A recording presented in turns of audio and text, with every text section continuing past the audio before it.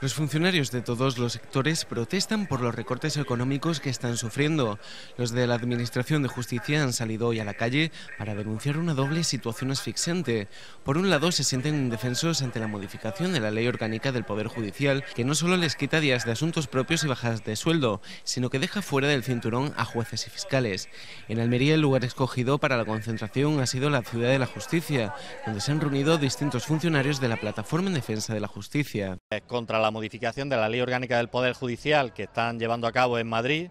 para poder aplicarnos todos los recortes que en el mes de julio aprobó el Gobierno Central, que básicamente son el poder penalizarnos desde el primer día que estamos enfermos, es decir, un día de enfermedad común, perder el 50% del salario, en segundo lugar, perdemos días de asuntos propios,